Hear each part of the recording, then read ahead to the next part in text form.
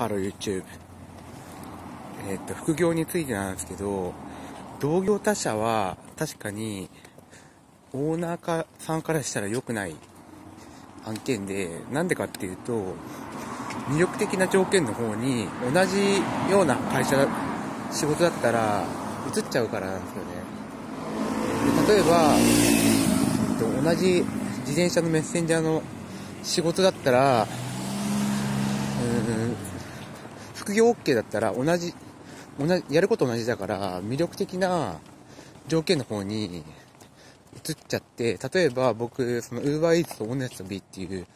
うんと、同じフードデリバリーの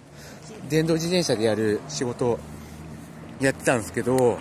最初、2018年の5月から、うんと、ウーバーイーツ1本で集中してやってて、途中オネストビーして、オネストビーも登録して、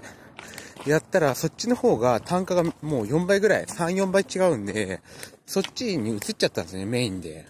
っていう感じで、あのなんでかっていうと、そのオネストビの方が、た、あの、割が良かったから、そうするとウーバーの人たちにとっては良くないわけじゃないですか。で、まあ、たくさん配達いるから、まあ別にウーバーいいんですけど、そんな感じで正社員で雇ってた人が、あの、すごい頑張って育てたのに、そういう感じに副業 OK で同業他